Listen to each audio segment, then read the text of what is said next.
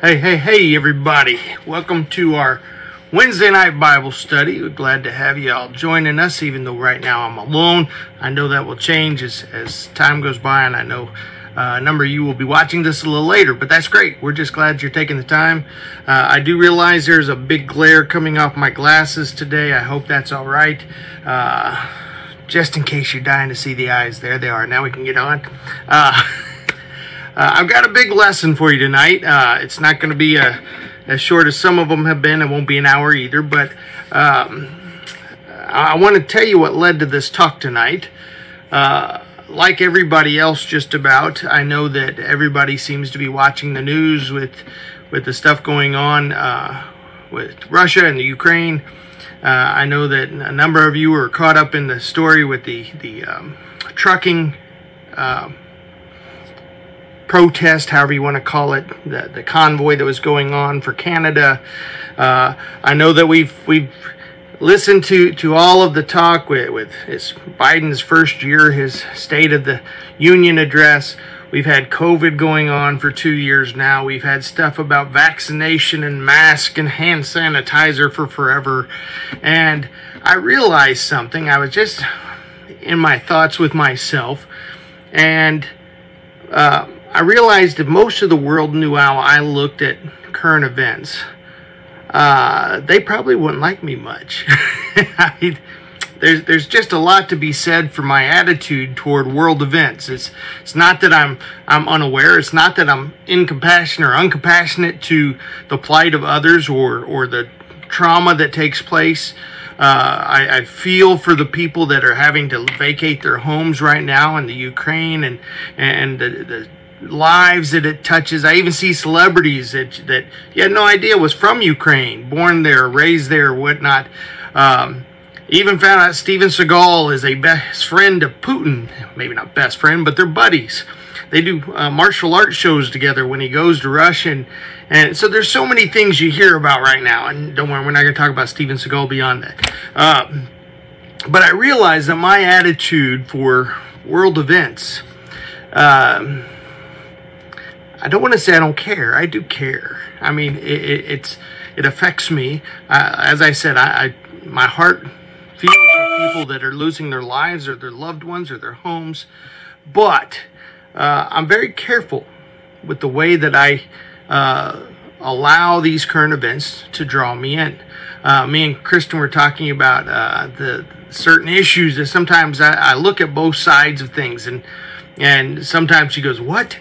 and that's okay because it's not that I'm ever really choosing a side of world events. It's that I like to be open minded uh, because I realize that there seems to always be an agenda somewhere that we're not being apprised of. There's always more to a story, there's always something else going on, and yet it can take one news broadcast. I don't care what the topic is, and all of a sudden we're all up in arms and it is a uh, a world of misinformation. And that's what I want to talk about tonight. I want to talk about getting caught up in the world as Christians and the warning that we have in Scripture uh, about doing just that. And, and, I know this isn't entirely new. You all hear me talk about this. I throw in little little blurbs in my sermons and all that. Uh, but for, for emphasis sake, I want to explain before I get into our scripture tonight why this is such a passionate topic from your preacher to you. Uh, it, it is not a secret that I believe with all of my heart, I truly believe, based off of my study of scripture, that we can expect to see the Lord very, very soon very, very soon. And as some of you have heard me, if I hope all of you have heard me to emphasize this, I know that before Jesus comes back, the world has to get even worse than it is today. Uh, I was talking with Dale Roberts today, and we were talking about uh, how quickly it seems evil is just taking a foothold around us. You'll say, oh, it can't get much worse than this, and the next day it's much worse than yesterday. And, and it's just amazing how well Satan is digging his teeth in, isn't it? So tonight we're going to talk about the warning of getting caught up in the world. And we're going to do it from a from a very strong standpoint of what did Jesus say? Because when we as Christians are truly going to hold on to something of value, the very first, first source of information we need is Scripture, and even more importantly, Scripture out of the mouth of Christ Himself. So we're going to have a lot of, of teaching of Jesus tonight. So let's get started. We're going to start in Luke chapter 4, verses 5 through 7. Luke 4, 5 through 7. And you'll understand very quickly why I chose this passage, I think. It says, Then the devil, taking him up on a high mountain, showed him all the kingdoms of the world in a moment of time. And the devil said to him, All this authority I will give you, and their glory, for this has been delivered to me, and I give it to whomever I wish. Therefore, if you will worship before me, all will be yours. Now, in some regard, you might sit there and go, devil was offering something that wasn't his to give. But that's actually not the truth. Scripture actually shows that he is the master of this world in so many words. There's he has uh, very strong influence and he had the right to roam back and forth on the earth we see in the book of job and and so so when the devil offers jesus something he's not offering something that Jesus can't validate. Notice Jesus doesn't come up in this conversation and said, That's not yours to give. He just says, You don't worship anybody but the Lord your God. But Jesus does not challenge the, the uh, authority of the offer from Satan because Satan's power is here. He is here working on the minds of us, human non angelic creatures, non heavenly creatures, right? He is here to sway us, persuade us away from the path of Jesus Christ. So now go over to John 3 16 to 19. Y'all should know John 3 16, right? Everybody, even non Christians, can probably quote this some, but I want to see all of it. So pay, pay attention with me. For God so loved the world that he gave his only begotten Son, that whoever believes in him should not perish, but have everlasting life. For God did not send his Son into the world to condemn the world, but that the world through him might be saved. He who believes in him is not condemned, but he who does not believe in him is condemned already, because he has not believed in the name of the only begotten Son of God. And this is the condemnation that the light has come into the world, and men loved darkness rather than light, because their deeds were evil. Now, this is a very really revealing statement when we think about the impact or the impact that the world has on current Christian and world events. All right? The fact of the matter is the world is full of people. Full of it. There's far more of this kind of person I'm about to describe than us. The Christian, God-fearing, uh, Jesus-loving type. Those people that love the darkness and embrace it. The world is full of them. So when we get really caught up in an event and we start tying ourselves, uniting ourselves to these different groups or organizations, and we have this common camaraderie, you need to remember that that group might be full, might be, I'm not saying all of them, but it might be full of people that hate the light. They embrace the darkness.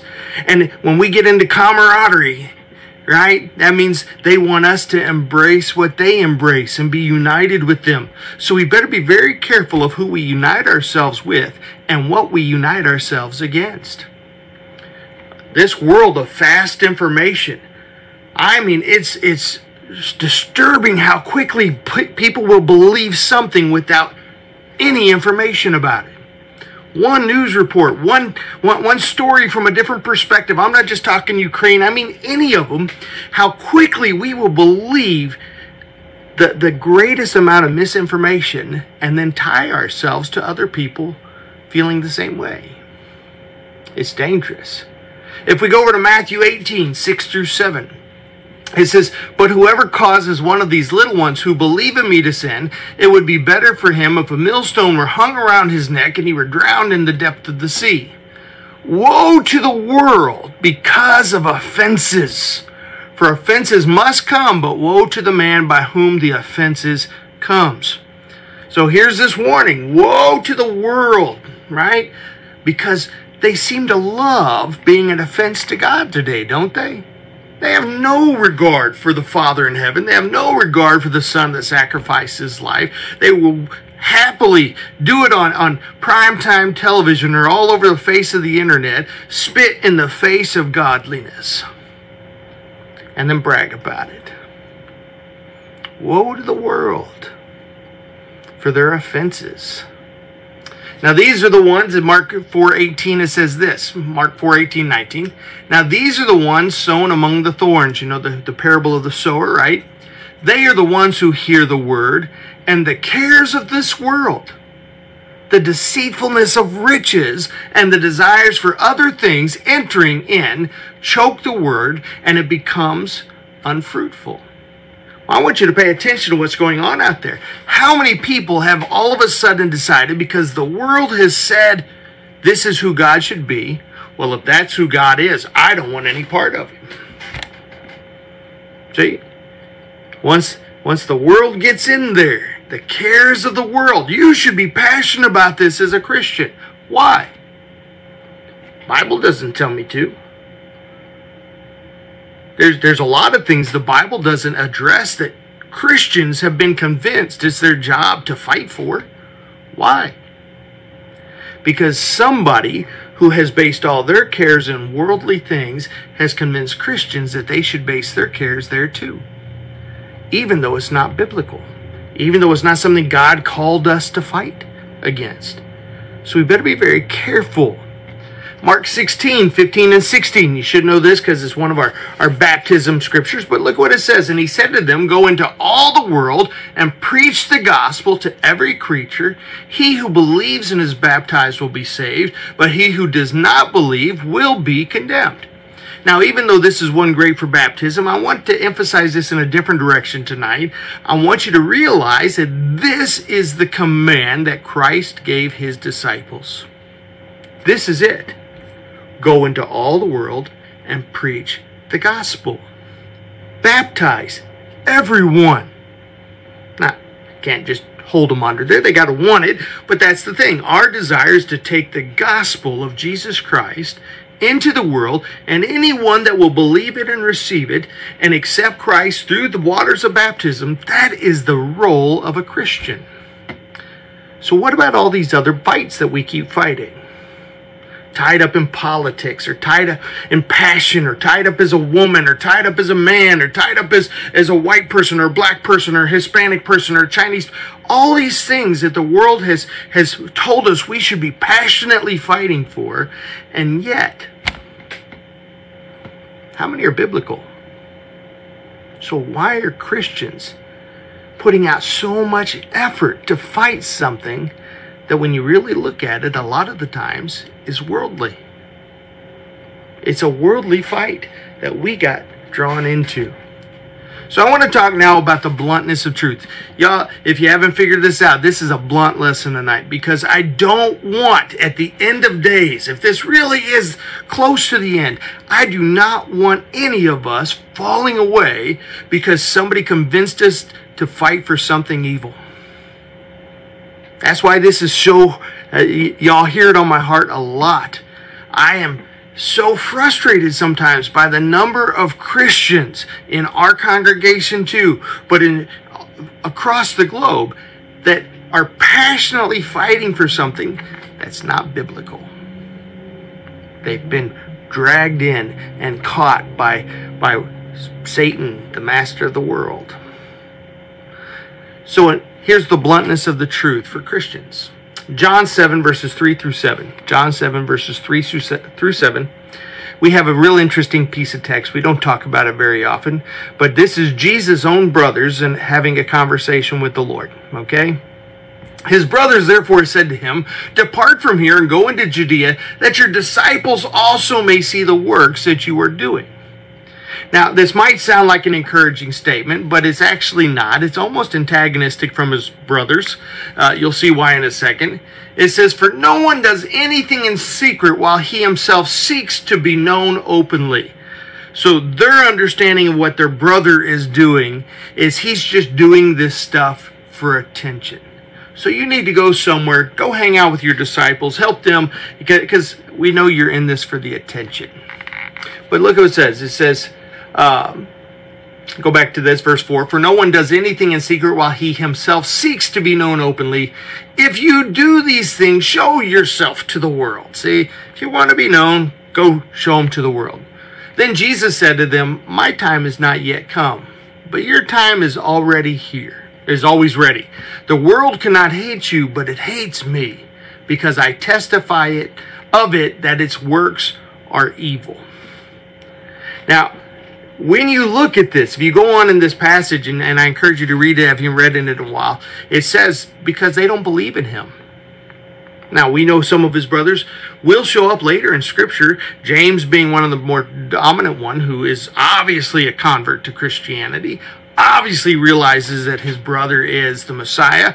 Uh, but at this point, his brothers don't believe that he's the Messiah. They think it's just his older, their older brother trying to get attention.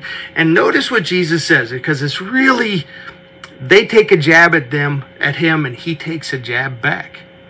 He says, my time's not yet here, but yours is always ready. And then he ties them to worldliness. See, people of the world are always ready for action. People of the world can always stir up something. People of the world can always think of something to fight for.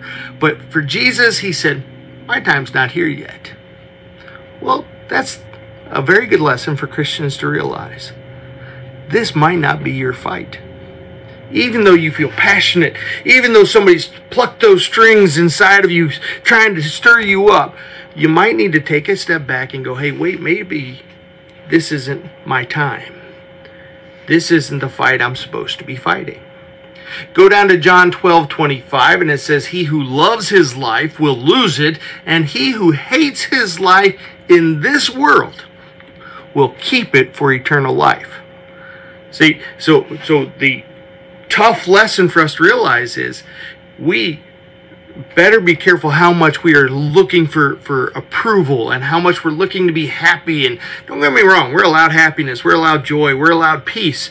But we better make sure we're not only finding them through worldly things. Because we have to be willing to lose this earthly life, this worldly life, if we want to gain that eternal one in heaven. Go down to John 8, go back a few chapters, I should say, John 8, 21 to 23. It says, Then Jesus said to them again, I am going away, and you will seek me, and will die in your sin. Where I go, you cannot come. So the Jews said, Will he kill himself because he says, Where I go, you cannot come? And he said to them, You are from beneath, I am from above. You are of this world, I am not of this world. So Jesus makes a very, very strong separation that we better listen to as Christians. I don't want to be somebody that Jesus looks at on Judgment Day and says, Shawn, you are from beneath. I'm from above. We have to realize that if we are truly God's people, we are not from beneath, we are from above. We become spiritual beings fighting the spiritual fight for an eternal kingdom, not a worldly one. John 14, verses 15 to 17. Notice what Jesus says here. If you love me, keep my commandments. And I will pray the Father, and he will give you another helper, that he may abide with you forever, the Spirit of truth, whom the world cannot receive, because it neither sees him nor knows him, but you know him. For he dwells with you and will be in you. See, the whom the world cannot receive. They don't get him. So many people out there have cautioned on this saying, oh, telling me I didn't feel the Holy Spirit. No, no, no. There's people out there the Spirit is pushing on. It doesn't make them Christian. It just means he's pushing them. And the question is whether they're going to feel that and move because of the urging of the Spirit. But there's others of us that have been baptized into Christ and as Acts 2.38 says, right? Repent, be baptized, and you shall receive the gift of the Holy Spirit. We don't have him pushing on us. We have him working through us to show us the path of God. But the world cannot receive the Holy Spirit. They don't get him. So here we have this differential uh, of treatment from God. You have a blessed gift that worldly people cannot have. So when he goes into there, then then go back up here with me if you would. Uh, because it neither sees him nor knows him. See, they do not recognize the Spirit. They think they do. Some people think they know all about spiritual things, but the fact is they're wrong. Scripture tells us they're wrong. But here it's encouraging for us because Jesus is telling his disciples, You want me to go because when I go, boy, the Spirit shows up and you want the Spirit. But that's not the end of this conversation. All right, we're going to get there in just a minute. We're going to come back to this a bit. We'll go to right now back a couple chapters again to John 12 this time. John 12, 46 to 48. He says, I have come as a light into the world, that whoever believes in me should not abide in darkness. And if anyone hears my words and does not believe, I do not judge him, for I did not come to judge the world, but to save the world. And I believe I shared this scripture a couple weeks ago in one of my sermons, but Again, look at the end of this, though. Verse 48 He who rejects me and does not receive my words has that which judges him. So Jesus says, I didn't come to judge you, but I did come to tell you what will judge you. So to ignore Jesus, to reject Jesus, to deny Jesus, uh, you've rejected yourself. You have denied yourself when we get caught up in the wrong fights and, and in so doing, not rejecting Christ the way you think literally, but realizing everything that Jesus told his people to do, we reject that path and we adhere to worldly things. We are in dangerous territory. We have to be careful and make sure that we are, as Paul said, fighting the good fight. So it goes on in verse 48 He who rejects me and does not receive my words has that which judges him. The words that I have spoken will judge him in the last day. See? So if we're not paying attention, we're in trouble. Now let's go back. I told you uh, earlier we talked about Satan, the master of the world, right? This this power of of worldliness that he has. Well, in the passage we just read in John 14, if you go down to verse 26, we get more of the the uh, passage we just kind of had, but he says, But the Helper, the Holy Spirit, whom the Father will send in my name, he will teach you all things and bring to your remembrance all things that I said to you. See, that's great news, right? But, don't you hate that word? But, go down four verses. And I want to give you the other thing Jesus says in this conversation. I will no longer talk much, verse 30, I will no longer talk much with you, for the ruler of this world is coming, and he has nothing in me. Got nothing to do with me. He's not part of this plan. So, so Jesus says on one hand, hey, Holy Spirit's coming. This is great because he can remind you everything I've talked taught you over the time. You're gonna be excited. It changes everything for you. This is a blessing. And he says, but the other guy's coming too. He is not part of me. He is not in the plan, but he is regarded as the ruler of this world. So Satan's power is here. He was put here for a purpose, right? So now go over to Luke chapter 12. How we doing? We're good. Okay. Luke chapter 12, 29 to 31.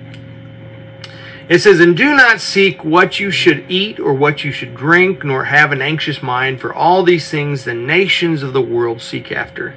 And your Father knows that you need these things, but seek the kingdom of God, and all these things shall be added to you. Now, I want to warn you, and that's what a lot of this is about tonight. I want to warn you that even though this is talking about food, clothes, drink, right? That's what the this is a reality that we have to check not just those three things, but how many other things does the world make a priority? How many things does the world say is important for us to act upon? Is it important for us to be passionate about? Is it important about enough for us to vote for or to pick it out on the street for or to, to rise up and fight wars over? How much is the world giving us a wrong message of what's important. I thought there was really something interesting uh, about uh, the after effect of the State of the Union. And, and, I know that's kind of scary by some terms when I say it that way, but but hear me out. There's there was a comment made by President Biden, not a political statement, a Bible statement. Uh, he didn't make it. I'm making it. Uh, he said, "We will not send troops into." Uh, um, yeah, that country over there, just totally blank. Uh, you know what I'm talking about. It'll come back to me. Uh, we're not going to do it, he said, because there is a much bigger picture at play. That's a very honest statement. In other words, while everybody else is getting all worked up over what they are seeing in the media immediately, boom, boom, boom, boom, he says there's a lot of stuff you all don't even know about. That's what scares me. That's what concerns me. That's what should concern all of us. Because there's always something we don't know about. We are fed the information that most people want us to from the world. And the reality is, we will get riled up so quick, so eager, before we even know anything. And we're ready to fight. We don't have that problem with Jesus, right? We get these Bibles. I got a ton of them in my office. I got them in about seven different languages. I got them in about 30 different versions. Uh, don't like them all, but they're there. And but the story is still what we get to rely on. God has told his people, this is what I expect from you. It's when we deviate from that that we get ourselves into trouble. So here's a few scriptures for you. Ready? A few more, I should say. Uh, Luke 12, uh, I'm sorry, Luke, uh, John 15. I just did Luke 12. John 15, 18 to 19. These are the reality statements as Jesus gives them to his people. That's us. I want everybody to pay attention to these. If you go back and write these.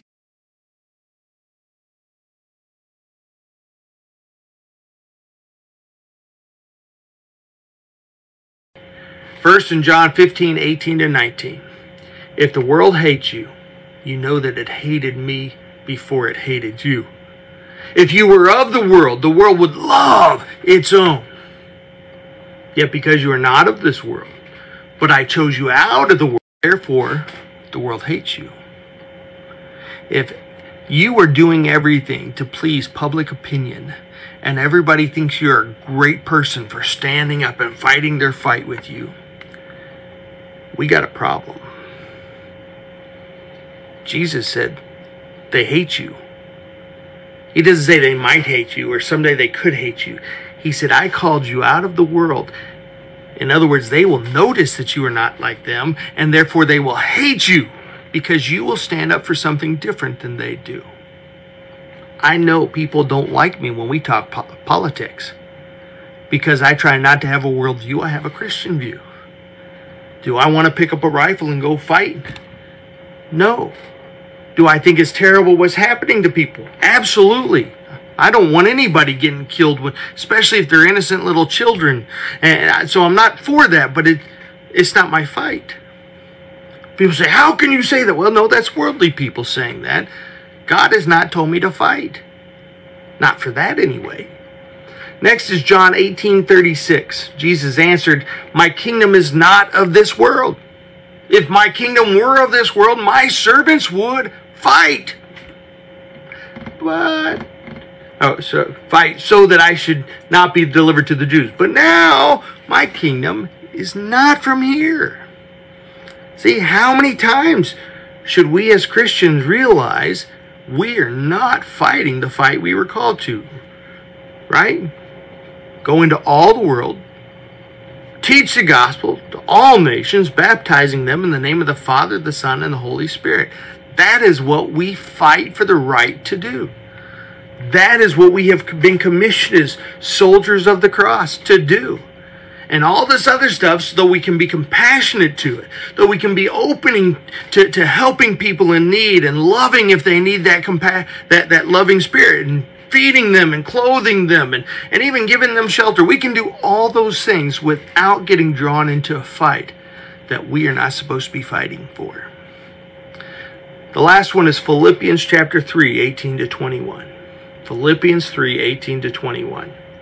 For many walk of whom I have told you often and now tell you, even weeping, that they are enemies of the cross of Christ, whose end is destruction, whose God is their belly, and whose glory is in their shame, who set their mind on earthly things. For our citizenship, everybody hear me? For our citizenship is in heaven from which we also eagerly wait for the Savior, the Lord Jesus Christ, who will transform our lowly body that it may be conformed to his glorious body, according to the working by which he is able even to subdue all things to himself. I'm about to make some people angry, but bear with me. I am so delighted that the United States has become such a disgrace these days because I'm hoping it will encourage Christians to remember the fight that they're supposed to be involved in instead of all this other garbage going on. Patriotism. I've said it before, I'll say it again. I am very thankful to the Lord above that He let me be raised in this country. I truly am. Most of you know I'm a veteran. I went into the military willing to do my part. I have no regrets of that. I served the Lord every day I was in there. But the fact of the matter is, even that, I would probably rethink now that I have a little age and wisdom on my side. But the fact of the matter is, patriotism has caused so many of us to become, become passionate about worldly fights that Christians are not supposed to be tied up in. So I want to encourage you all. Come be hated with me. Come be hated with Jesus. Take a stand against fighting the wrong fight. I'm not telling you to become political. I'm not telling you to become anti political. I'm telling you to be Christian. Fight the fight we've been called to fight. Take the message of Jesus Christ into the world. If they hate you for it, remember, they hated me first and they hated Jesus before me. And I'm okay with that. In fact, it brings me joy because everybody that hates me when I'm preaching, I figure I must be doing it right. So let's join together. This is our fight. This is what we should be passionate about. This is what we should be determined to make a difference in the world with. There will always be wars and rumors of war, Scripture tells us right? There's always going to be poverty. We can't get rid of it. There's always going to be homosexuality. There's always going to be abortion. There's always going to be hate. There's always going to be prejudice. There's always going to be evil. But it shouldn't be coming from God's people. That's my challenge tonight before you jump on that platform or that rally boat or whatever you want to call it, before you get so excited that you're writing hate letters to your representative or, or getting on YouTube and making speeches of hate against a president or congresswoman or whatever. Ask yourself, is this the fight God called me to fight? And before you say, I believe it is, find a scripture that tells you that. Make sure it is because we do not want to be tied to a world that we know hates God, has no part of Jesus Christ, and is led by the ruler of this world, Satan. I hope this encourages you. I hope it provokes you to thought. Even if you get mad at me, come talk to me about it. Don't badmouth me. Don't talk behind my back. I can take it. I'm a big boy. Literally, I'm a big boy. But we are God's nation, fighting for a heavenly home and a godly people. And the rest will let God worry about. Okay? I love you guys. Here, let's look at our prayer request. I did hear or see where uh, Carolyn put something about Lyle. Lyle got COVID, everybody. Uh, pray for him. I know he's so weak, but he's also so tough. I don't know how that man is as tough and looks as frail as he is, but he's he's tough. So pray for him. Pray for Donna that they are uh, get through this smoothly, I hope, and that God is watching over them. Let's see what else we got here. Uh, a lot of people chiming in today. I appreciate that. Glad to have everybody here. Uh, Gloria says she can't hear me. Was it just her? Okay, good. Uh, they're the only ones said it, so uh, Wi-Fi. Uh, let's see. Pray for Uncle David. He also tested for, that's from Kirsten, COVID. Uh, prayers for Christians. Um, there are a lot of Christians. There's Church of Christ missions groups uh, that are affected by everything going on. And that's why I said make sure that the fight we're in is the right fight. Uh, but do pray. Pray for all the things going on. It's, it's, it's a bad, bad world. So let's pray now.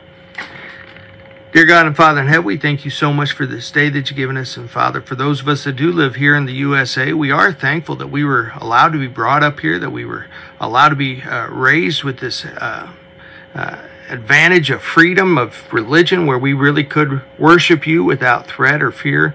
We see a world that is changing that today where it's getting uh, more and more uh, offensive to speak your name or to promote Jesus Christ.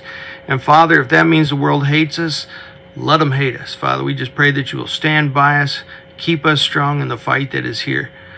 Father, we pray that you will watch over those that are still sick. Of course, COVID is still around. Uh, worried about Lyle. We, he's been through a lot lately. Just really uh, ask that you bring some healing there. Uh, let him be a testimony of strength once again. Father, watch over us, guide us, forgive us of our sins, and help us to, to turn from the world and embrace the future that you have you have offered. Love you so much for Jesus, the life that he gave on the cross. We pray all this in his precious name. Amen. God bless. I love you guys. Uh, I hope you like this talk. It, it, it, meant a lot to me to pass it on to you guys, and I wanted you to know why I'm so passionate about this lately. Uh, my concern is not for the world. My concern is for you. It's for me getting drawn into something evil when we shouldn't be. Uh, so we'll, let's fight together. God bless. We'll talk to you soon. Hopefully, we'll see you Sunday.